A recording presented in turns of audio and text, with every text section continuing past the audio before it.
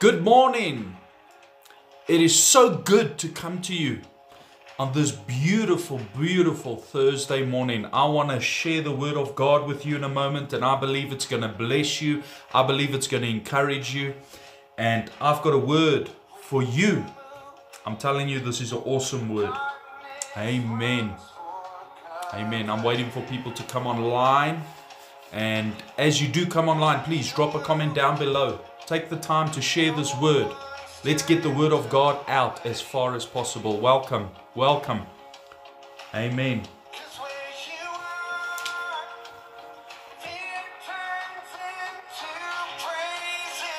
Yes. Amen.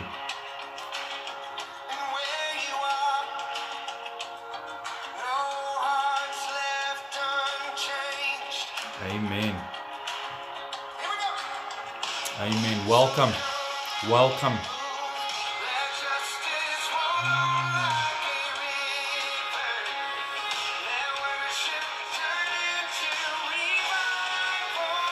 Amen. We're going to get into the Word of God in a moment. I'm going to share the Word of God with you. Amen. Amen. Amen. Amen.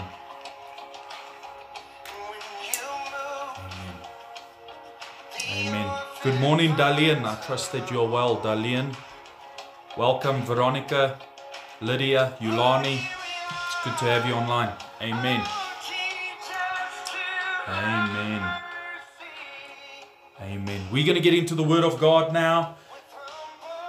I am this morning in the book of Acts, chapter 28. Acts, chapter 28. And I'm going to start there this morning, and I want to give you a revelation that God has given me from this word. Acts 28, verse 1 to 6. That's where my assignment is this morning, and I want you to open up your heart to receive a revelation from God's word right now and I'm going to share the story with you. And this story has really spoken to me, especially in this season. And I believe it's going to be a revelation for you. Amen. So let's pray. Father God of our Lord Jesus Christ, as we come together this morning at the beginning of this day, I pray, Lord, that you would bless this word, that it will go forth and not return void, that it will fall into our hearts, that we will receive it with gladness.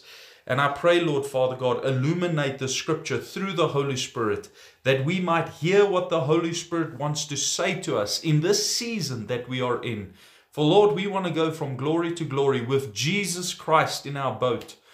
Lord, when you are in our boat, we can smile at the storm and know that we will overcome. We praise you for your goodness, for your faithfulness, and for the good God that you are. Amen. Well, Acts chapter 28, verse 1 to 6 says these words, and I want to read the scripture. Once we were safe on shore, we learned that we were on the island of Malta. The people of the island were very kind to us. It was cold and rainy, so they built a fire on the shore to welcome us and warm us.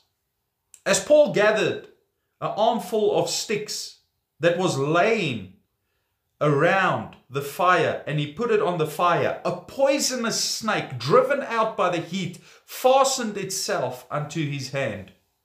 The people of the island saw it hanging there and said to each other, A murderer, no doubt. Though he escaped the sea, justice will not permit him to live. But Paul shook off the snake into the fire and was unharmed. The people waited for him to swell up or suddenly drop dead. But they had waited a long time and saw no harm come to him. And then they changed their minds and decided that he was a god. Now, in this passage of scripture, we see how the great apostle Paul has been imprisoned for preaching the gospel of Jesus Christ. He's on his way to Rome.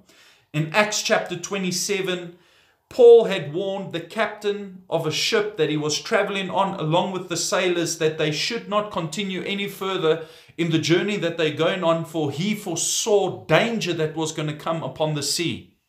Well, Paul was right in the end. There was danger and there was a shipwreck. And as a result, everybody on the ship eventually was shipwrecked and they landed up on an island. But when they landed up on this island, they did not know at first where they were. So get the picture. First and foremost, Paul is thrown into jail for fulfilling the call of God upon his life. He's doing something good, he's preaching the gospel. Secondly, he tries to warn those that he is going on a journey with not to go further because there's trouble on the way. Nobody listens to him. And eventually, as a result of nobody listening to him, he, along with them, lands up in a shipwreck. And now he's landed up on an island. It's wet, it's cold. He is dazed from what he has just been through. And you can imagine he's hungry. And are islanders with a strange language.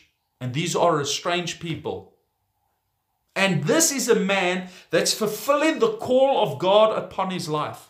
This is a man that's doing the will of God, and things aren't turning out for him the way that he expected.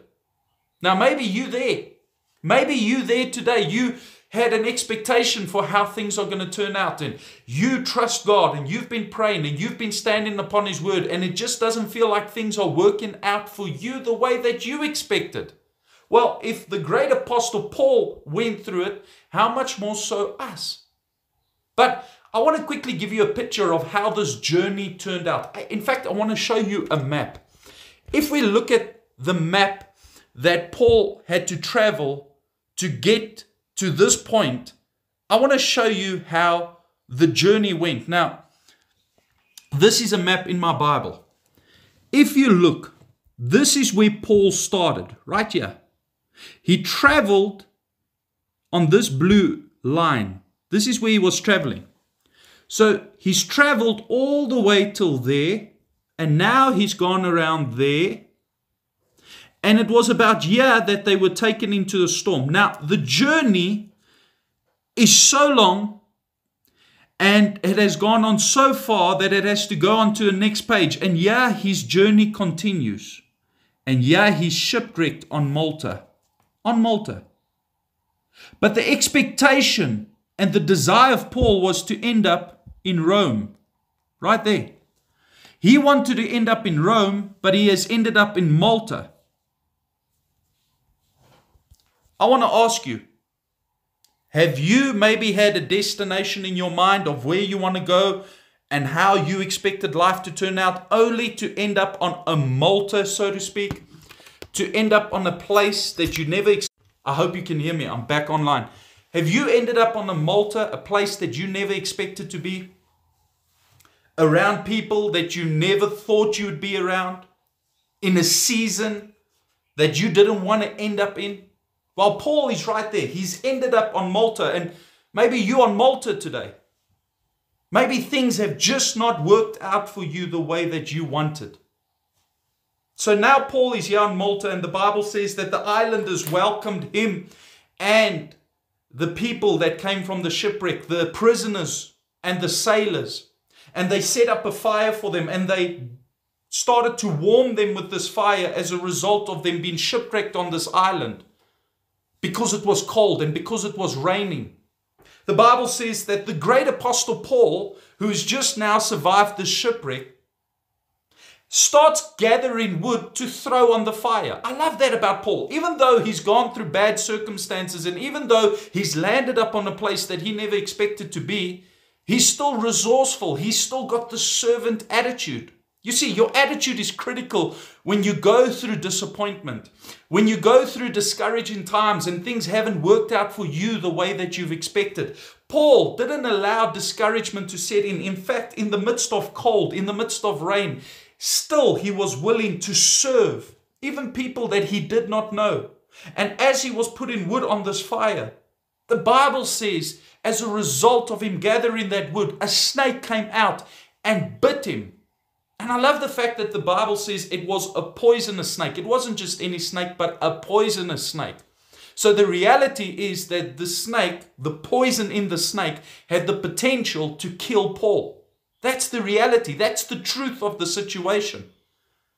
And as it bit Paul, the Bible says it fastened its hand to Paul. In fact, one translation says it was a viper. So that means it actually lunged its fangs into Paul. pushing venom into his bloodstream. So, Paul has now survived the shipwreck against all odds. He's landed up on this island, he's cold and hungry, and now all of a sudden a snake bites him. He survives the shipwreck only to be bitten by a snake. What have you survived only to be bitten by? Maybe you survived 2020 and you're so glad that you got through 2020 only to be bitten by 2021. Maybe you've survived this lockdown and you've survived this COVID 19 crisis, but only to be bitten by some personal dilemma or a relationship that did not work out or somebody that hurt you or betrayed you. It's amazing how sometimes we can survive big catastrophic events or we can uh, uh, survive catastrophic seasons in our life where we never thought we would survive, and then one little thing will come and bite us, and it will break our hearts and devastate us. Paul has survived the shipwreck, and now he's bitten by a snake. And as he's bitten by the snake, the islanders see this. They see the snake hanging from his hand. And the islanders begin to justify the fact of why he's been bitten by the snake. In fact, they draw a wrong conclusion to Paul. They say this man must be a murderer because of the bad luck that he has. Yeah, he's come, he survived the storm and the shipwreck, he's landed up on this island, and now a snake has bitten him. And the islanders start speaking to one another, and they say to one another, This man must be a murderer.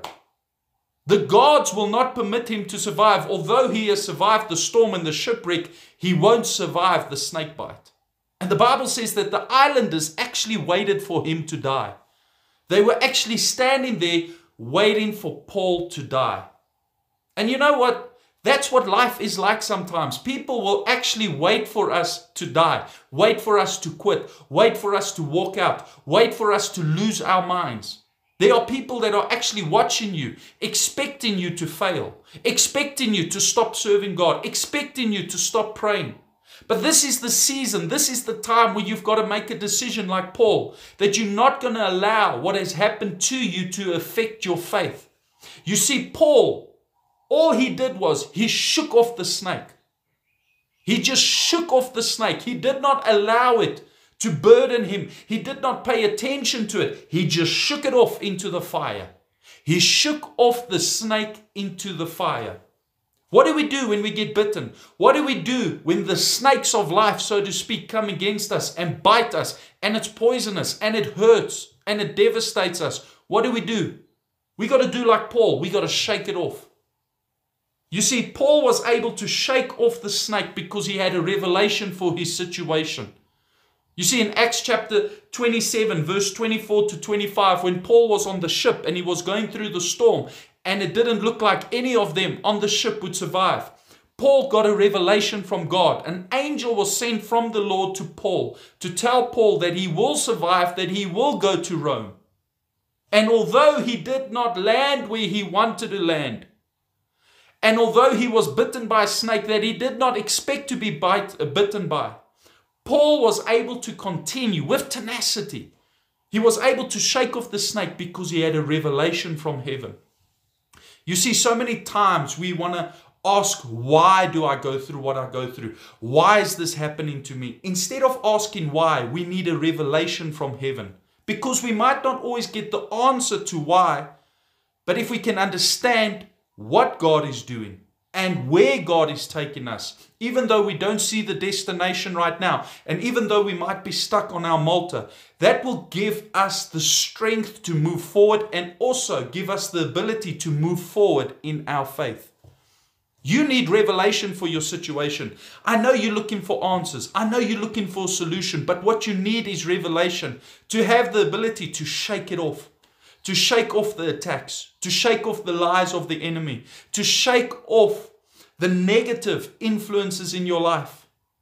I've come to tell you today, child of God, God is still busy with you. Just shake off the snake bite, shake off the attacks, shake off because the enemy wants to kill, steal, and destroy. He wants to block you, he wants to keep you back from God's best.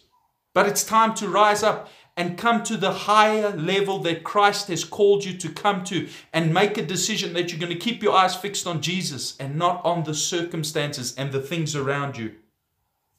The Bible says that as he shook off the snake and it went into the fire, and he did not die. The islanders then concluded that, that, that this man must not be a murderer, but he's a god.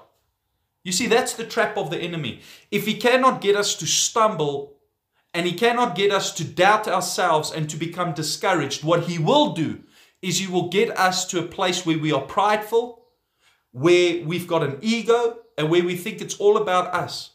If he cannot get you to stumble in insecurity, he will get you to stumble in pride.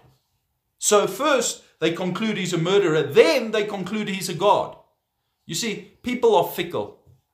People are fickle. You cannot go by what people say, you got to go by what God says. The same with Jesus. In the week that he was there at the Passover when he was crucified, when he came into Jerusalem, the people were shouting, Crown him. A few days later, they were shouting, Crucify him. The same crowds. So that's why it's not wise to live off people's compliments or their criticism. I want to give you a tip to save your sanity and to live a life with so much peace. Stop worrying about what people say and stop worrying about what people think. And stop trying to explain yourself to everyone. You don't have to justify yourself because some people, even though you might try and explain yourself and justify yourself, are anyway going to believe what they want to believe. Just move on, shake it off, and decide that you're going to focus on God. Now, Paul has shaken off the snake. The Bible says that there was a Roman official that stayed on the island. He heard of Paul and Luke, the writer. He heard that they were on the island and he welcomed them into his home. There was no doubt that this became a testimony that Paul survived the shipwreck and the snake bite. And as this Roman official invited them into his home, which was basically a palace on the island, he fed Paul and Luke for three days. As they were visiting, the Bible says that Paul learned that this Roman official's father was sick he had a fever and it did not look good. In fact, it looked like this man would possibly die. So, what does Paul do? He prays for the Father.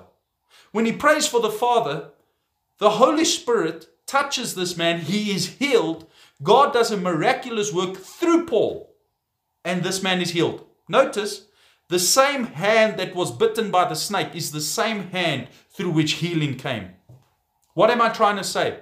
Sometimes the devil will attack you because he knows the potential that's on the inside of you. He knows that God wants to use you. He can see it and he wants to bite you so that you do not use the same hand to bless other people. I've seen people how they've had the ability to bless people with finances and then people do them in and they are bitten, so to speak, and now they don't want to give anymore and they don't want to sow anymore because they don't trust people. Well, you've just let the enemy win. I've seen people who they've got a huge heart. They, they've got so much compassion. They're so kind. And they've got the serving heart to serve other people. And then they are betrayed. They are hurt. People criticize them. And what do they do? They become hard. They don't trust people anymore. Why? They've been bitten. And now the same hand that was bitten is the same hand that can't bring healing, is the same hand that can't bring forth breakthrough. God wants to bring breakthrough through you. Don't allow what the enemy has done in the past or how he has bitten you or what people have done unto you to limit what God can do through you. Child of God, there is so much more in Christ. There is so much more when God is with you. Keep your eyes fixed on God. But notice this the Bible says that he went to this Roman official's house and he prayed for this father. And when he did that, all of a sudden, everyone on the island learned that this father was healed by Paul. And they all started flocking to this Roman official's house. What started taking place? There was a healing revival that was taking place on the island. People were coming from the north, the south, the east, and the west to this uh, Roman official's house to be healed, and the gospel was preached unto them. So, what seemed like a mess up turned into a mission. What seemed like a catastrophic event turned into a miraculous event, and God was moving on the island of Malta. where Paul was shipwrecked, where Paul was bitten, revival came forth. Why? Because Paul was willing to shake it off. He was willing to shake off the shipwreck, so to speak. He was willing to shake off the snake and the bite from the snake. He was willing to move on in spite of his circumstances. And the island was blessed with a move of God's Spirit. Don't allow what happened yesterday to limit your today or to stop what God wants to do in your tomorrow. Shake it off. Shake off the offense. Shake off the bitterness. Shake off the unforgiveness. Shake off yesterday and its disappointments. Shake off the rejection. Shake off the discouragement. There is more in store. I've come today to encourage you with this word. Just shake it off. God wants to turn your mess into a message for his kingdom. You see, I want to leave you with this final thought. God allowed Paul to be bitten in the sight of men in the sight of the islanders. Why? Because he would become a testimony unto them that he serves the living God. He became a testimony unto them that there's a God in heaven that heals, there's a God in heaven that sees, there's a God in heaven that will bless his children. God will allow you oftentimes to go through things so that you can be a testimony to other people that God is good. So while you are asking why, Rather ask, how are you going to use me? And what are you going to do through me? Although it's hurting, although it's painful, although the snake bite hurts, I can imagine that snake bite hurt. I'm going to shake it off, and God, I want to be used for your glory. I might be on Malta and I might not be in Rome right now, but Lord, let me be used for your glory. Let that be the prayer of your heart today. I leave you with this word. Come, let us pray.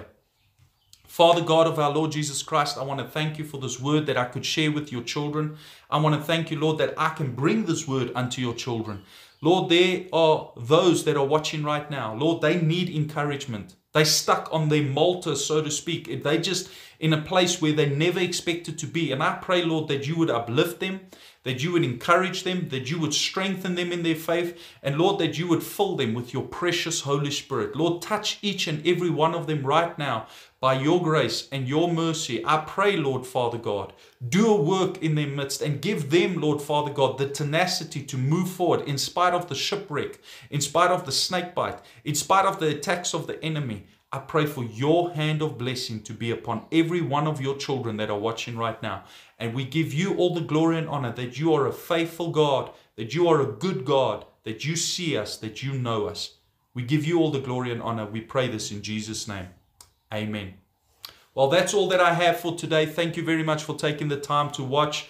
I pray that this word encourages you and this word blesses you. I will be back live on Facebook Saturday night at half past six. You must have a blessed day and God bless you. I just want to quickly greet some people that are online. Pastor Marita Kotza, it's good to see that you're online. Henry Bridget, it's good to see that you're online. Once again, Lydia Stain, welcome. Yolani Buerta, welcome. Chris Welsh, welcome, my brother. Dalian Engelbrecht, it's good to have you online. Veronica Lutz, welcome. And Lente Fourie, welcome. And to everyone that's watching at a later stage, God bless you. Have a wonderful day and thank you so much for taking the time to watch.